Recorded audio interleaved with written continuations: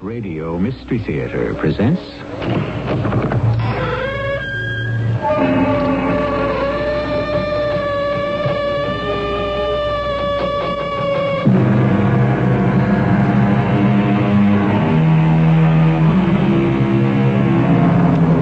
Come in. Welcome. I'm E.G. Marshall. Dreaming is what your mind does while you sleep.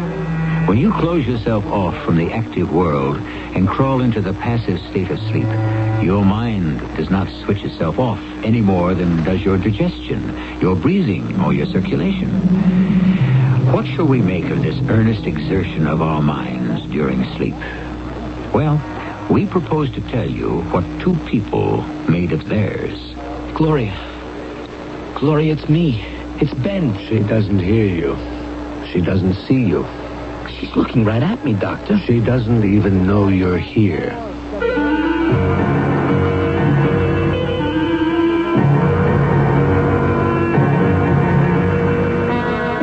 Our mystery drama, Dreams, was written especially for the Mystery Theater by Elspeth Eric and stars Kristoffer Tabori. It is sponsored in part by Contact, the 12-hour cold capsule. I'll be back shortly with Act One.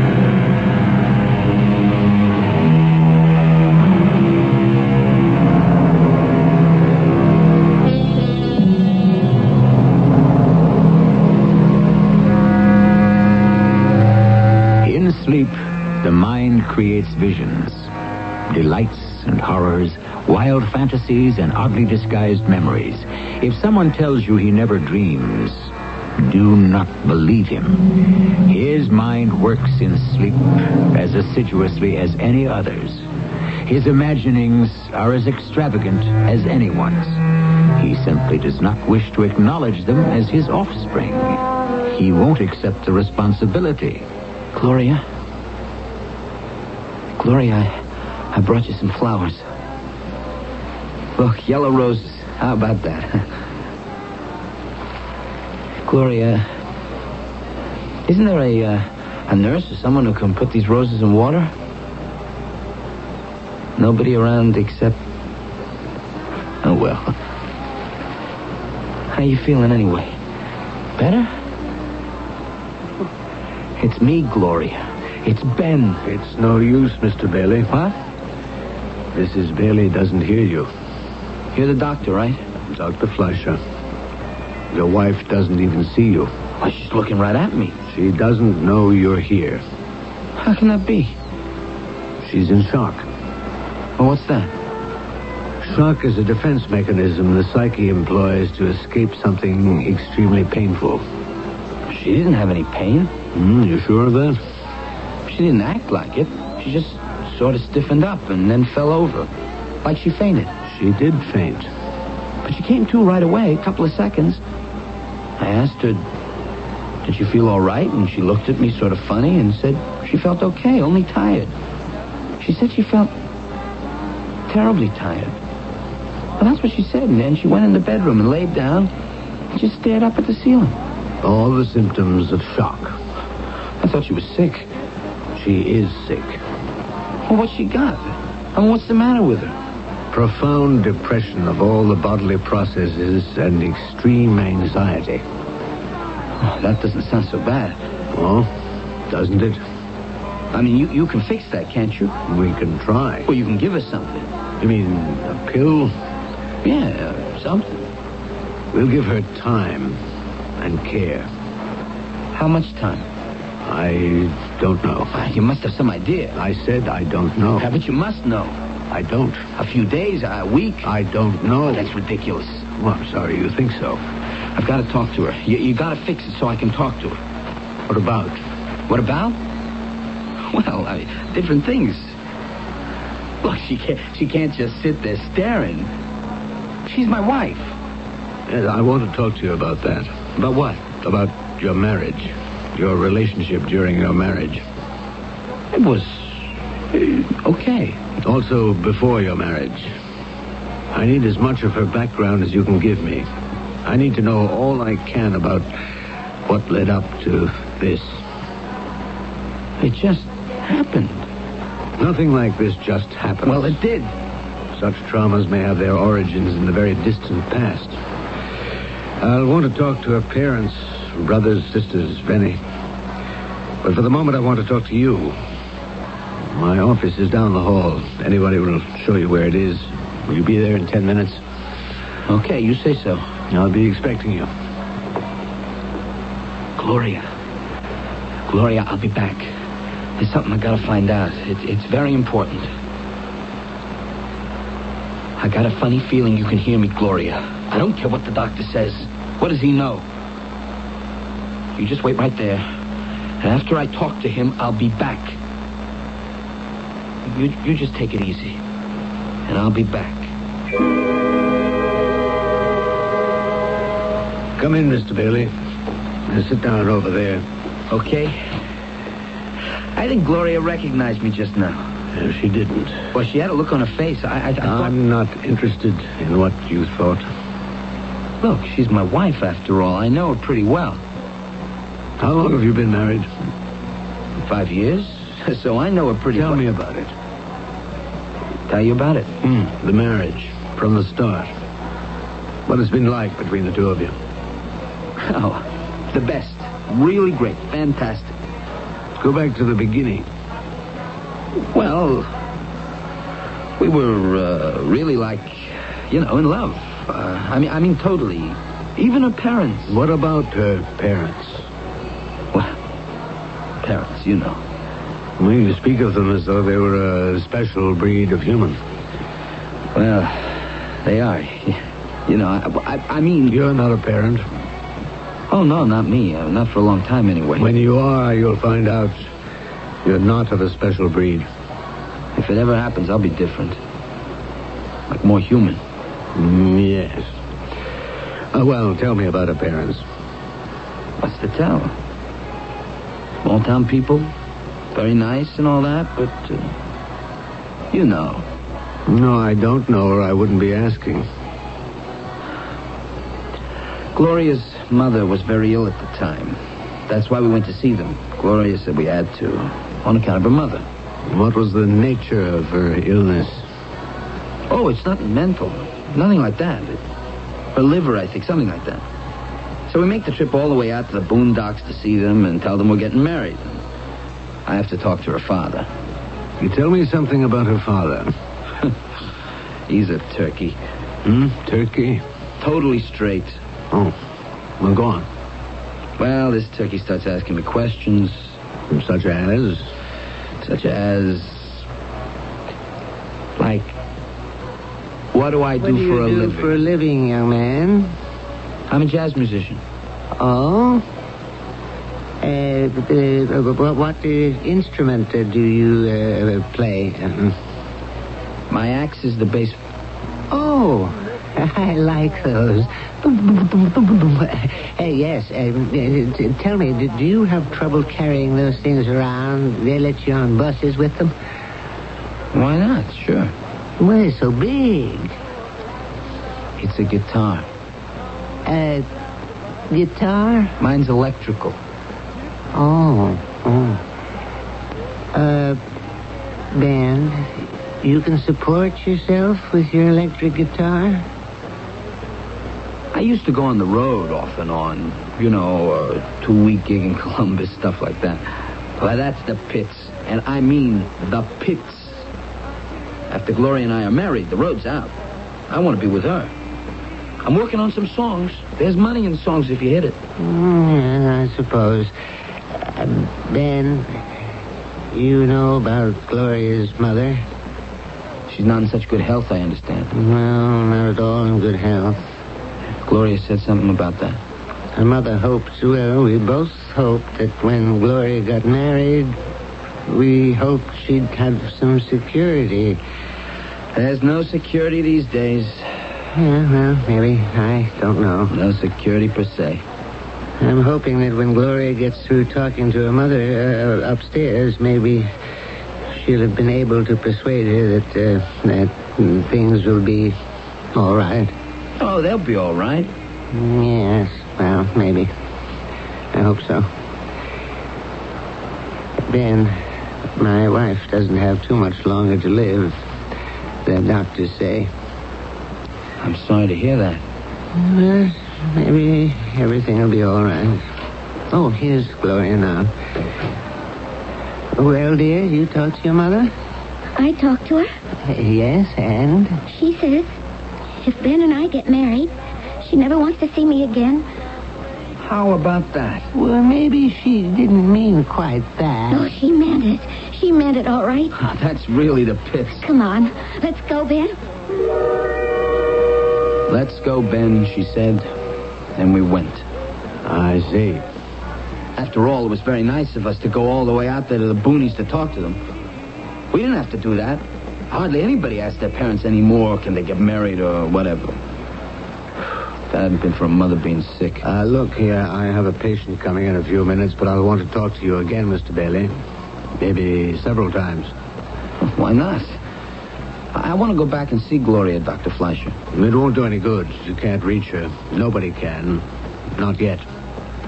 Well, what I really want to do, I, I, I brought some flowers, some yellow roses. I, I want to get a vase and put them in some water. There was nobody around to do it, so I thought. Well, if that's all you want to do. That's all. That's it. All right.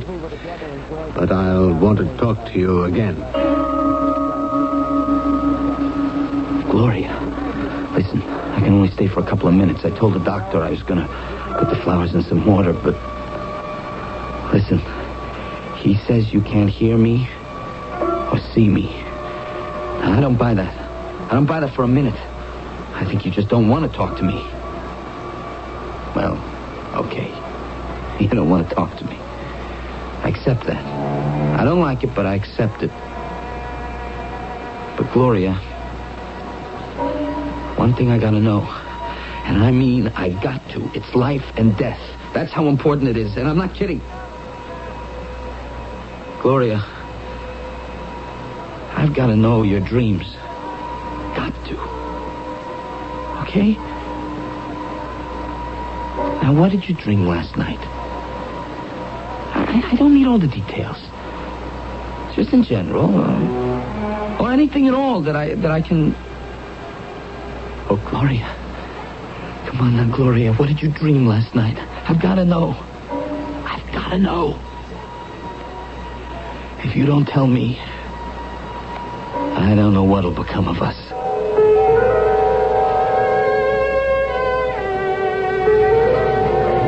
Place your bets, ladies and gentlemen. Place your bets, please. Hello. Place oh. your bets. Hello there. All bets are down. No more bets.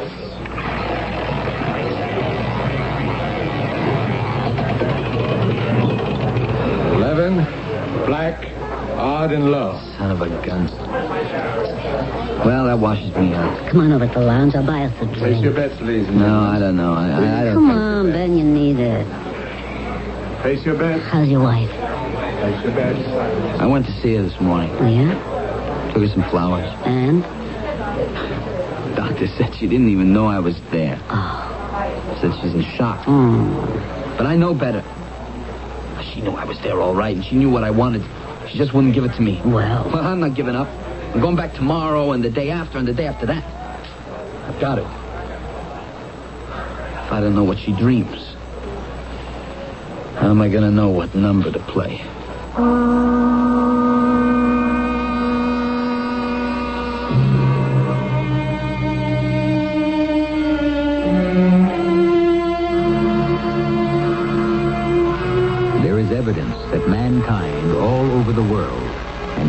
Through the ages dreams and has dreamed the same dreams. And many men have wrestled with the problem of what to make of them. But how many have wrestled with another's dreams in order to turn them to profit? We shall return shortly with Act Two.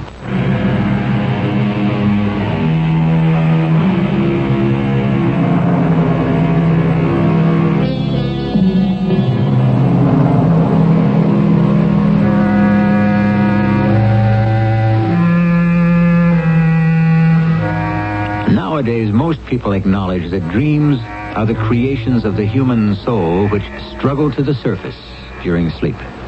Disguised as they are, these grotesqueries can be translated into recognizable thoughts and desires. But before the advent of the scientific age, everyone believed that dreams were visitations by supernatural beings and could portend the future. A small minority still does. And an even smaller group believes that dreams can foretell the winning number on a roulette wheel. Gloria, it's Ben. I told you I'd be back. Oh, Gloria, please talk to me.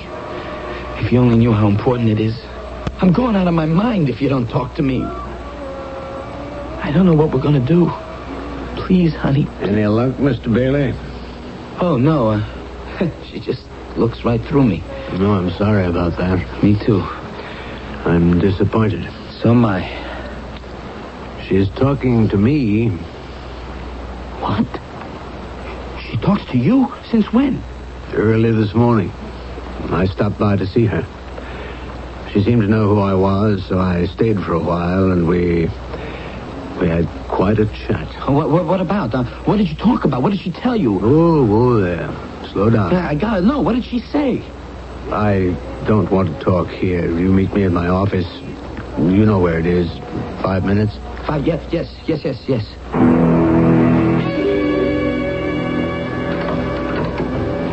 Come in, Mr. Bailey.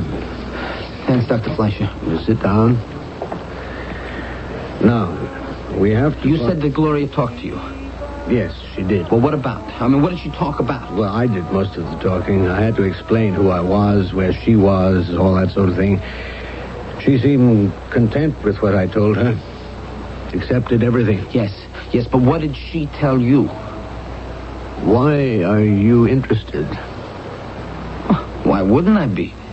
Are you afraid she revealed something you'd rather she hadn't? No, of course not. One would think you'd simply be grateful that she's responding. I am, certainly. Only, Only what?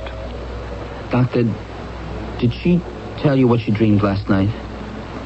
What a very strange question. Did she? Most peculiar. Why do you want to know about your wife's dream? Gloria always had this thing about dreams. Mm, thing? But she believed in them. Believed? How? Well, like the one about the eggs. Oh, tell me about that. You know, I told you her mother was very sick. Yes, you told me. And when Gloria told her she was going to marry me, her mother said she never wanted to have anything to do with her, ever again. I remember you telling me that. Now, I want to hear about the egg dream. Gloria had this idea that if we were to have a baby, her mother's first grandchild, well, that's a big deal, right? Very big deal. But she thought if she could tell her mother she was pregnant, then they'd get back together again. Anyway, once the baby was born, they would, right? It often happens that way. Once she woke me up in the middle of the night, and she said, Ben, Ben, I I just, just had, had a dream. Oh, what? What? You, you had a dream? Well, I want to tell you before I forget it. Well, tell me, tell me. Go ahead. I was walking down this long corridor, all white, marble, and light coming through this big tall window. And my mother was standing there, with the light shining down on her. And I went up to her. I was so glad to see her. And I said, Where is it? Where is it? Oh, Where was what? I don't know. Something I wanted, something I was looking for. Something. What, what about your mother? What did she say? Nothing. She didn't say a thing. She didn't even look at me. She was looking beyond me, off somewhere. But she was smiling. Oh, she looked so beautiful, Ben. So I kept running through this place, stopping everybody and asking, where is it? Nobody seemed to know, and I was getting desperate. It was getting to be a nightmare, kind of. But then, I found it. Yeah? Yeah, well, what was it? It was a dozen eggs. Eggs. A, a carton of eggs. Oh, you know how they come, a, a dozen to a carton. Well, you know. Oh, yeah, I know. And I, I think I was pleased that I found it. You think you were. Well, a- at first I was. Till I opened the carton. And there were all these, these beautiful eggs. But one was broken. And then I felt so sad. That's when I woke you up. I, I had to. I just had to. That's all right. I'm glad you did. Ben, You know what I think the dream means? What? The eggs. They're my children. The children I'm going to have someday. I'm going to have 12 children. Well, 11 anyway. Because one of them will be broken. Only one of them will be broken. That's what she said. That's quite a dream. Yeah.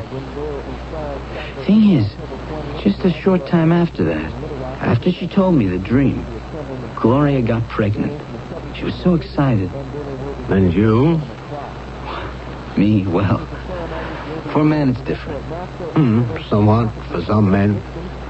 Anyway, Gloria was about to write to her mother. Once she was really sure that she was going to have a baby. But before she could do that, she had a miscarriage. Yeah, she lost the baby. It was very sad for a woman. I was disappointed too. Because I figured I was ready for a kid about then. I mean, if that's what Gloria wanted, I could afford for her to have it. You could afford it? Well, money wise, I was in the chips. How did that come about? From the dreams. Gloria's dreams. Uh, I don't quite follow you. You're not a gambler, are you, Doctor? Um, no. Life is one long gamble as far as I'm concerned. I like to try and beat the game now and then. And do you? Beat the game? Not very often. Not till I married Gloria and started betting her dreams. What does that mean, betting her dreams? You see, Dr. Fleischer, every dream means something. Oh, indeed it does. It means a number. A number that is going to come up for you. You don't really believe that, do you?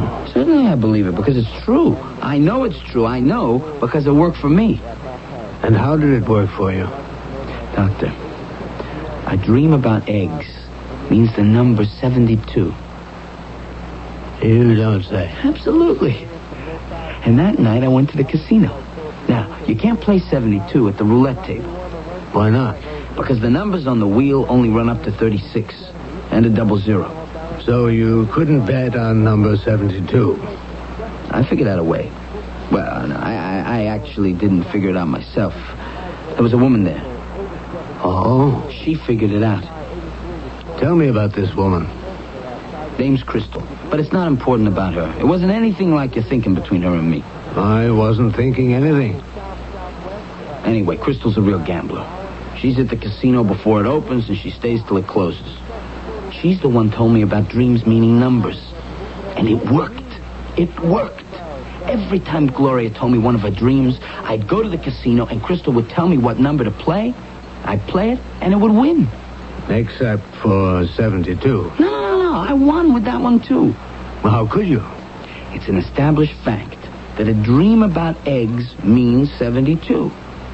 I mean, we had to start with that, you know? Oh, go on.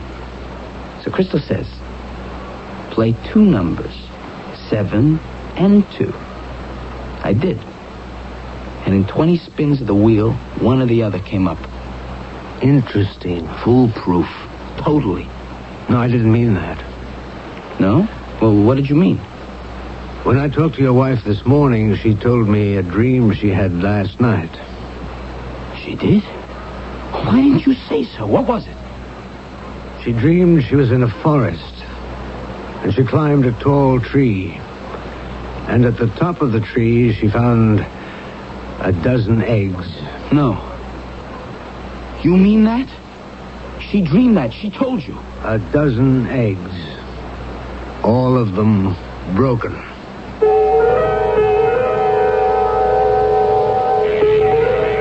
No more bets. All bets are down. 14, even, on, Ben, drink red, and low. Hear that? Now, come on, pay no attention. If I'd left my chips where they were on seven and two, I'd be broke practically. Finish your drink. We'll go back to the table and have another try.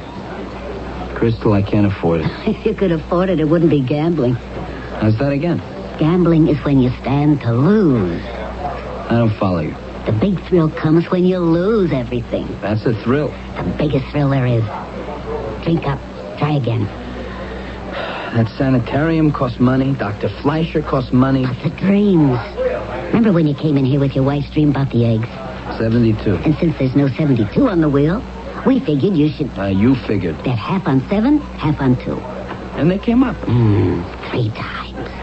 And you doubled your bets. I was a rich man that night. Ah, you will be again. Eggs always mean 72.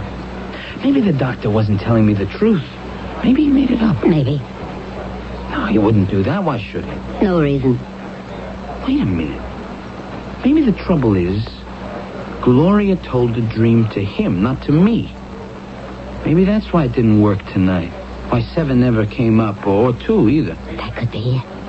Oh, I will. No. No, no, no, wait. Come on, I got it. Hmm? I know what I did wrong. I've got it. What? What is it? 72. 72, 7 and 2. I really played 7 and 2. And you won. Yeah, that was the first time. But this time I lost.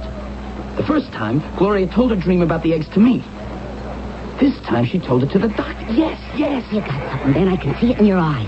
I wasn't supposed to play 7 and 2 tonight. I was supposed to add 7 and 2. And put your chips on nine. Yeah. Come on. Oh, that's it. That's got to be it. Place, I know this is it. I know it. place your bets, ladies and gentlemen. Please place your bets. On nine, please. All bets are down. No more bets.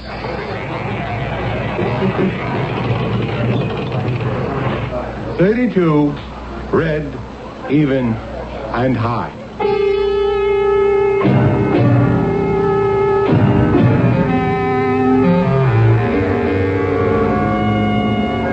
Many hypotheses have been put forth as to why some people have a passion for gambling. Greed, boredom, excitement, and others, even including sexual compensation. But there is a consensus that if you gamble long enough, you are certain to end up broke because the odds are deliberately set against you. Therefore, it would appear that the chief, the most pervasive purpose of gambling is to lose. I shall be back shortly with Act Three.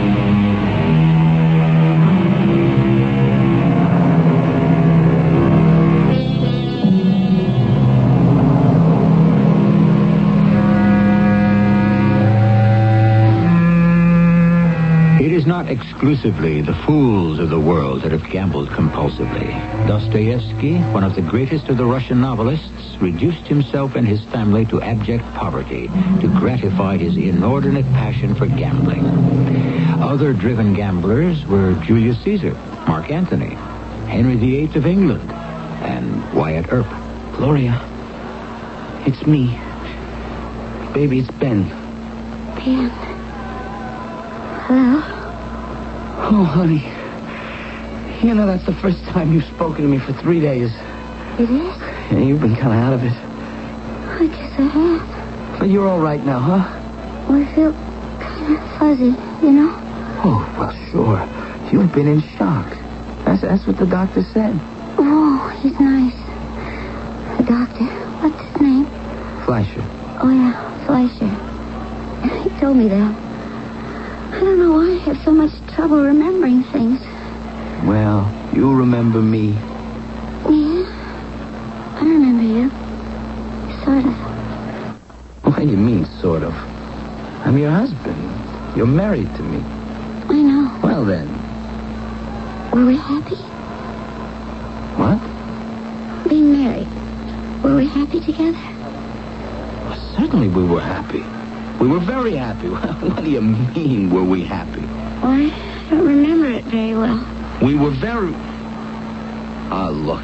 It's this shock business. It does things to people. Dr. Fleischer told me. I'll have to get him to tell me. Sure. He'll tell you, and then you'll be all right, and you can get out of here and come home, and we can start all over. Being happy? Well, certainly. Oh, if I could just remember being happy, You will. then I think I'd be all right. It's the not remembering. I lost the feeling somewhere. Look, you're going to be fine. Now that you're talking to me, you'll be great. You don't know what it's been like when you wouldn't talk to me, not even say hello or anything. I didn't know you'd been here before. Every day. Every day. I brought those yellow roses. But you don't remember that, I guess. Mm, no, I don't. Thank you. Uh, but, um, you, you've been talking to Dr. Fleischer, haven't you? He told me you started talking to him yesterday. Mm, yes, I did. I don't know why I did. But he was so quiet, so patient, very gentle, very sweet. Like my father, kind of. He wanted to take care of me. Well, sure. That, that's how these doctors are. That's their business. He didn't make it sound like business. He made it. He made it sound like he cared about me. Look, don't cry, Gloria. It's going to be all right. I trusted him. Somebody I don't even know. And I trusted him. Look, I, I don't think I should stay much longer. I, I don't want to upset you. He was so gentle with me. Like nobody's ever been. Gloria, there's something you can do for me. I can't do anything for anybody. Something important. I can't even do anything for myself. Tell me if you had a dream last night. Please, Gloria. A dream. Remember, you always used to tell me your dreams. Did I? Oh, yes, I did, didn't I? What about last night? Why did you dream last night? Rain. You said rain? Lots and lots of rain. Raining all over. That means I'm going to die. No, no, it doesn't mean I'm that. going to die. And I'll never remember being happy. No, Gloria, please don't go. Please don't. Mr. Bailey, Hey, here, here's the doctor. Don't cry. what's going on here? Well, we were just talking, and, and she started to cry. Ah, it'll be all right, Mrs. Bailey. You just go ahead and cry, and later on we'll talk about it. It was so great that she recognized me and, and everything, and... I want to see you in my office, Mr. Bailey. Sure. Five minutes, okay? Come in, Mr. Bailey. I'm sorry, Dr. Fleischer, about what happened. That's all right. It won't hurt her to cry. She'll be doing a lot of it, I imagine. She will? But I'd rather she cried when she's with me. Not with you, for the time being. Don't sit down. I don't know what I said that made her cry. Tell me what you were talking about. Well, her and me, us being married. Were we happy? How about that? She says she can't remember what happy is. There are a lot of things she doesn't remember right now. A lot of feelings. That's what happens in shock. But she'll get over it, won't she? I hope so. Now, tell me what you were talking about just before she started to cry. I didn't want to make her cry, Dr. Fleischer. I have told you crying won't hurt her in the least. It may help. Now, what brought on the weeping? She started to tell me her dream. The one she had last night. Rain falling everywhere. Oh, she told you? Well, yes, of course. She thinks it means she's going to die.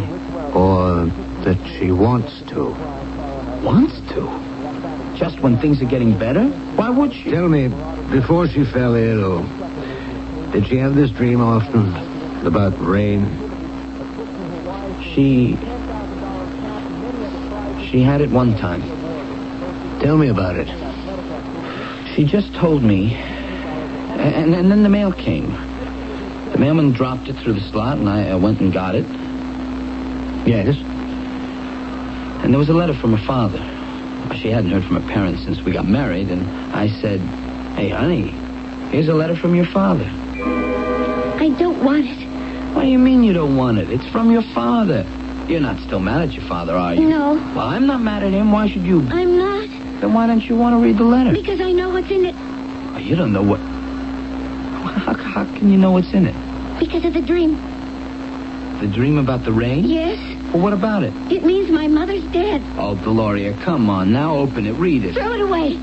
Honey, you don't want me to do that. Come on, open it. I don't want to touch it. Get rid of it. I just can't believe it. I don't want to touch it. Throw it away. That's what she said. Throw it away. Like there was death in it, and she didn't want to touch death. Something like that. She didn't want to recognize the reality of her mother's death. Seeing the announcement written out in words would make it real. She was trying to put off the reality. She'd already dreamed of her mother's death, the rain dream.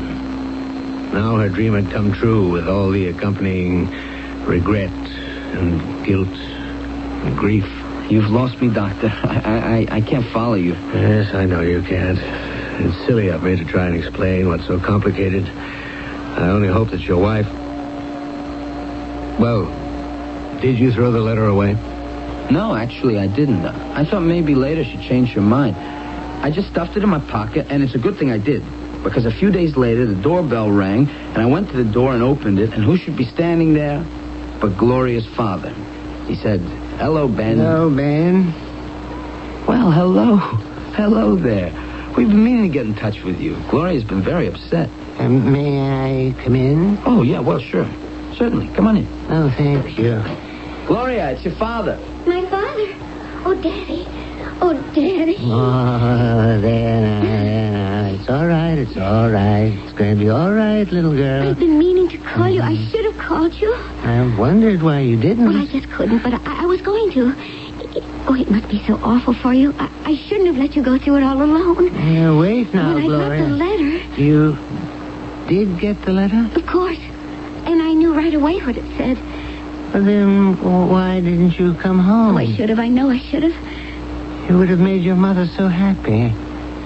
Mother. Sit down, darling.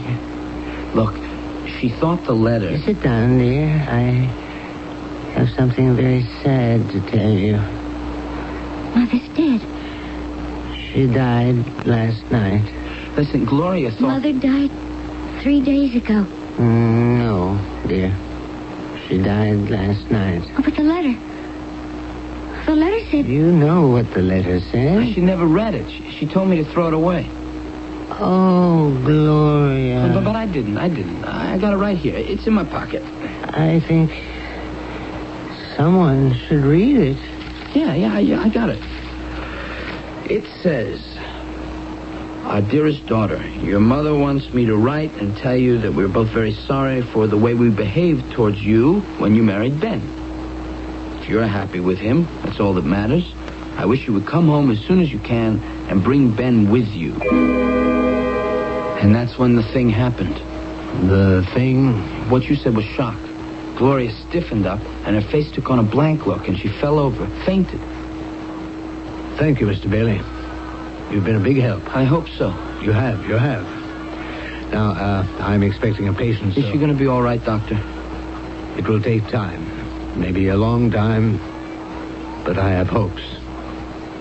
Yes. I have great hopes.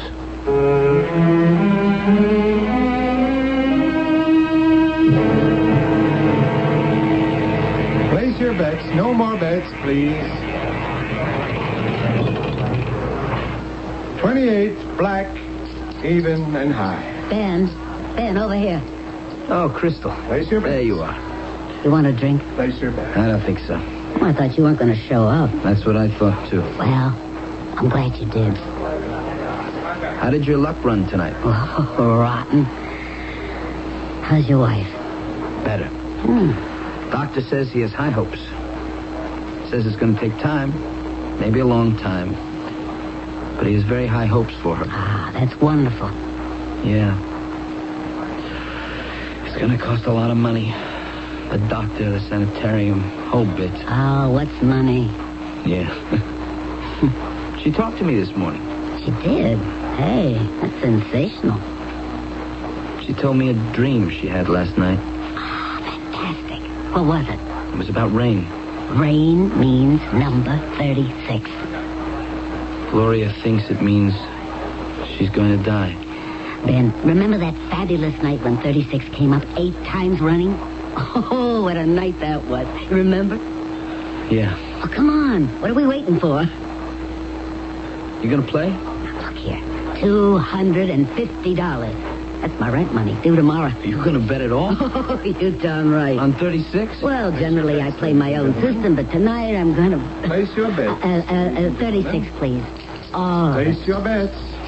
put your money down there. Hurry up. Oh, no, All I... I... bets are down. Place your bets. too No more bets. you dum-dum.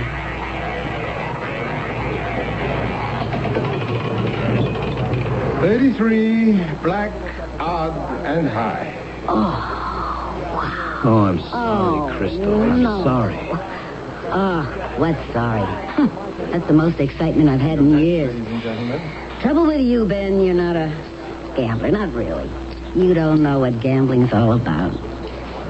I guess I don't. So long, Crystal. Nice to have known you.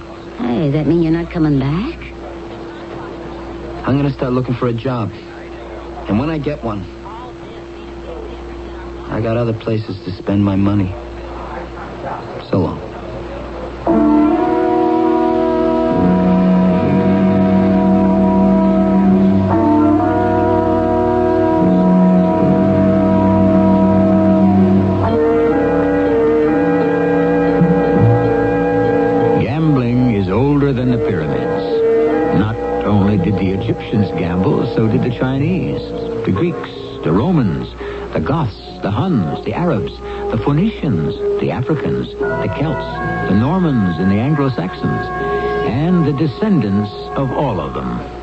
Down to the present day. I'll be back shortly.